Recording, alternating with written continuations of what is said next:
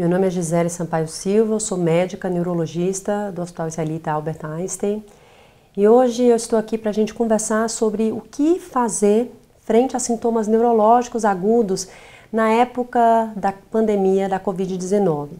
Então, com muita razão, muitos pacientes estão com muito medo de comparecerem ao hospital, mas infelizmente, durante a pandemia da Covid-19, outras doenças continuarão acontecendo e algumas doenças não podem esperar para ser tratadas.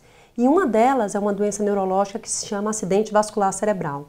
A recomendação é que se você tiver ou algum familiar tiver algum sintoma sugestivo do AVC, como, por exemplo, fraqueza súbita de um lado do corpo, dificuldade para falar, dificuldade para enxergar de um ou ambos os campos visuais, ou dor de cabeça, cefaleia súbita, que se procure sim um hospital de maneira rápida, porque só o atendimento rápido pode mudar o prognóstico dos pacientes nessas situações.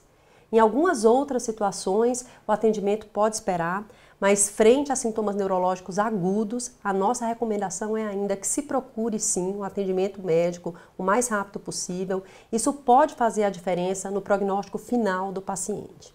Por outro lado, se você tem uma doença neurológica crônica, como por exemplo enxaqueca, esclerose múltipla, essas doenças devem ser acompanhadas. Procure sempre a assistência do seu médico, converse com ele. Hoje existem ferramentas como telemedicina.